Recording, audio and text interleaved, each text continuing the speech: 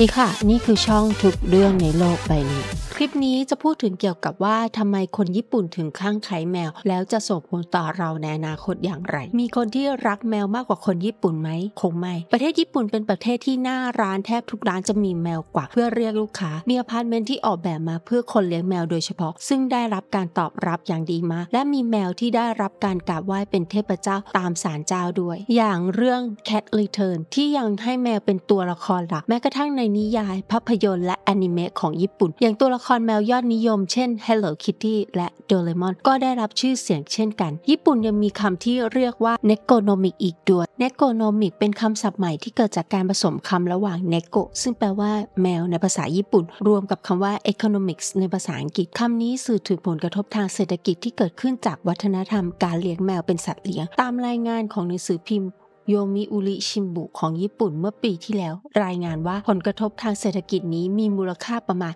20 ล้านล้านเยน อย่างไรก็ตามแมวไม่ได้รับความนิยมในญี่ปุ่นมาตั้งแต่แรก ตามผลสำรวจที่จัดขึ้นในปี 1983 พบว่าประชากร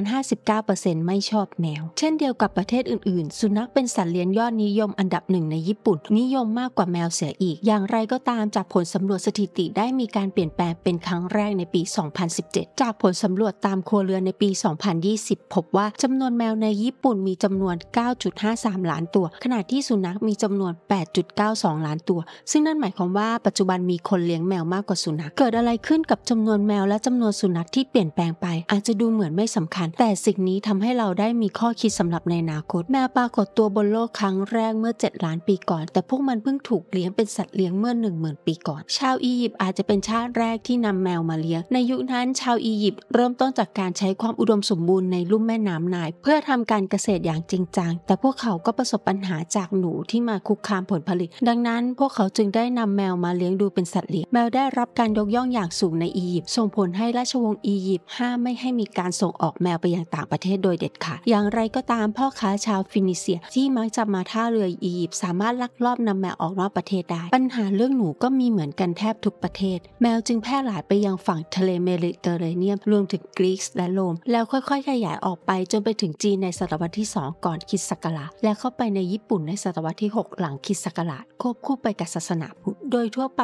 แล้วแมวไม่ได้ซื่อสัตย์หรือแสดงความรักใคร่ต่อคนเท่าสุนัขเนื่องจากแมวมีประวัติศาสตร์การถูกเลี้ยงดูโดยมนุษย์สั้นกว่าสุนัขซึ่งสุนัขถือว่าถูกนำมาเลี้ยงดูเมื่อประมาณ 30,000 ปีก่อน ส่งผลให้แมวยังคงมีสัญชาตญาณสัตว์หลงเหลืออยู่มากดังนั้นโดยทั่วโลกสุนัขจึงเป็นที่นิยมมากกว่าแมวมาโดยตลอด ตามการประมาณการจากอุตสาหกรรมสัตว์เลี้ยงแม้กระทั่งในปัจจุบัน สุนัขเลี้ยงคิดเป็น 48%และแมวเลี้ยงคิดเป็น 38%ทั่วโลก เช่นเดียวกับในญี่ปุ่น แม้กระทั่งในช่วงปลายทศวรรษ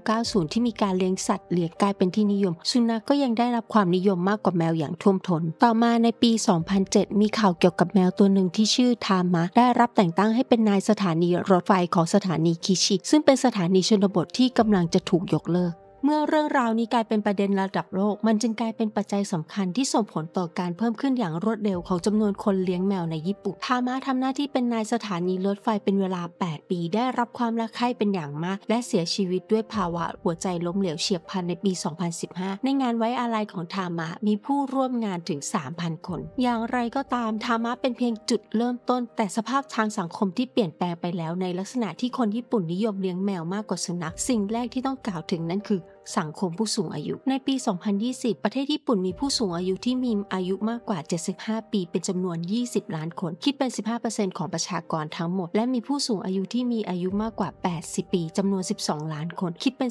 10%ของประชากรทั้งหมด อย่างไรก็ตามการเลี้ยงสุนัขนั้น เจ้าของจำเป็นจะต้องพาสุนัขออกไปเดินเล่นทุกวันสำหรับผู้สูงอายุแล้วการพาสุนัขออกไปเดินเล่นทุกวันย่อมไม่สะดวกเมื่ออายุมากขึ้นเรื่อยๆขณะเดียวกันแมวไม่ค่อยชอบออกไปเดินเล่น อีกทั้งยังมีขนาดเล็กกว่าสุนัขทำให้ดูแลได้ง่ายกว่า ประชากรผู้สูงอายุเพิ่มมากขึ้น ส่งผลให้การเลือกแมวมาเป็นสัตว์เลี้ยงคู่ใจกลายเป็นปรากฏการณ์ทั่วโลกไม่ได้มีเพียงแค่ในญี่ปุ่นเท่านั้น แต่เนื่องจากประชากรผู้สูงอายุของญี่ปุ่นมีการเพิ่มขึ้นอย่างรวดเร็ว สัดส่วนของแมวที่เลี้ยงกันจึงเพิ่มมากขึ้นอย่างมีนัยสำคัญเช่นกัน นอกจากนี้จำนวนแมวที่เพิ่มขึ้นยังสัมพันธ์กับการอยู่อาศัยแบบเดี่ยวที่แพร่หลายมากขึ้นอีกด้วยจำนวนการอยู่อาศัยแบบเดี่ยวในญี่ปุ่นนั้นเพิ่มขึ้นจาก 32%ในปี 2010 เป็น 38%ในใน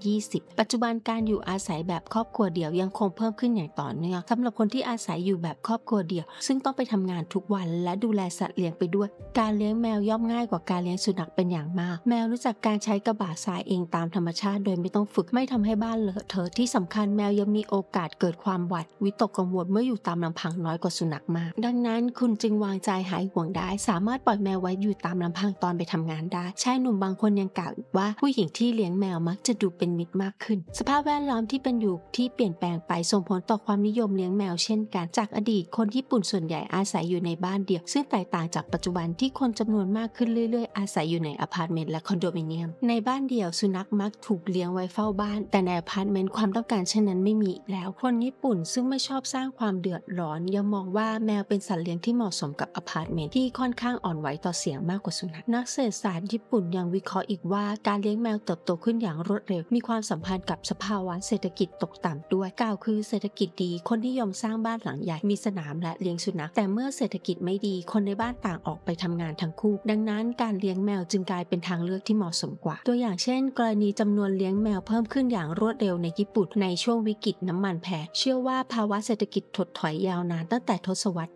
1990 เป็นปัจจัยสำคัญที่ทำให้คนญี่ปุ่นหันมาเลี้ยงแมวมากขึ้นเรื่องของค่าใช้จ่ายก็ไม่สามารถมองข้ามได้ แน่นอนมันขึ้นอยู่กับสายพันธุ์แต่โดยทั่วไปแล้ว การเลี้ยงแมวมีค่าใช้จ่ายในการเลี้ยงดูถูกกว่าสุนัขที่สำคัญสุนัขต้องฉีดวัคซีนหลายชนิด เช่น วัคซีนพิษสุนัขบ้าและจำเป็นต้องมีประกันสุขภาพด้วย อย่างไรก็ตามแมวมีโอกาสต้องไปโรงพยาบาลน้อยกว่ามาก ตามการคำนวณของอุตสาหกรรมที่เกี่ยวข้องกับสัตว์เลี้ยงในญี่ปุ่นพบว่าการเลี้ยงแมวมีค่าใช้จ่ายน้อยกว่าการเลี้ยงสุนัขประมาณ 40%แม้การเลี้ยงสัตว์เลี้ยงจะเป็นเรื่องง่าย แต่สำหรับคนญี่ปุ่นที่มีเงินเดือนหยุดอยู่กับที่เป็นเวลานานหลายทศวรรษการเปลี่ยนมาเลี้ยงแมวก็เป็นทางเลือกที่เกิดขึ้นจริง ดังนั้นมีการกล่าวกันว่าสุนัขในญี่ปุ่นอาจจะกลายเป็นสัญลักษณ์ของความร่ำรวยในอนาคตมีการพูดถึงกันอีกว่าคนญี่ปุ่นส่วนใหญ่มีความคิดเห็นว่าแมวเหมาะสมกับนิสัยของคนญี่ปุ่นมากกว่าสุนัขตามที่หนังสือพิมพ์ซันเคชิมบุกล่าวว่า คนญี่ปุ่นที่ให้ความสำคัญกับอิสรภาพเสรีภาพ มักจะถูกดึงดูดด้วยลักษณะนิสัยที่เป็นอิสระของแมวมากกว่าสุนัขที่ซื่อสัตย์พวกเขาบอกว่าลักษณะนิสัยของแมวนั้นเหมาะสมกับคนญี่ปุ่นมากกว่า เพราะคนญี่ปุ่นไม่ชอบยุ่งเกี่ยวกับเรื่องของคนอื่น และไม่ชอบให้ใครมายุ่งเรื่องของตัวเองเช่นกัน แม้กระทั่งเพื่อนสนิทคนญี่ปุ่นเองก็มักจะเว้นระยะห่างไว้ระดับหนึ่งเหมือนกันเสมอ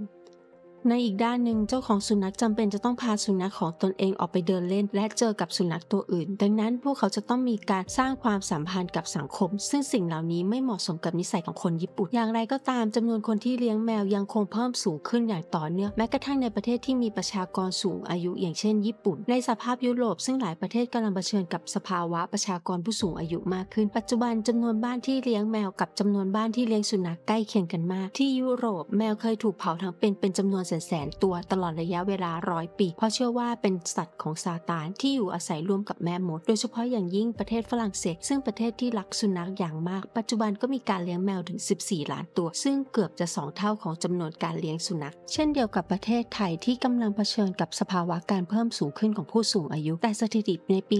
2022 ชี้ว่าประเทศไทยมีประชากรที่เลี้ยงแมวอยู่ที่ 56.3%และประชากรที่เลี้ยงสุนัขอยู่ที่ 62.33%แม้จำนวนผู้เลี้ยงสุนัขจะยังมากกว่า แต่จำนวนผู้เลี้ยงแมวในประเทศไทยก็มีแนวโน้มเพิ่มขึ้นอย่างต่อเนื่อง ในปี